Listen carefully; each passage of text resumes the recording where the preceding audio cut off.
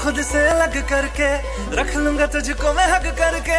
I want say you मैं तेरा ना सुनिए, तेरे नाल नाल।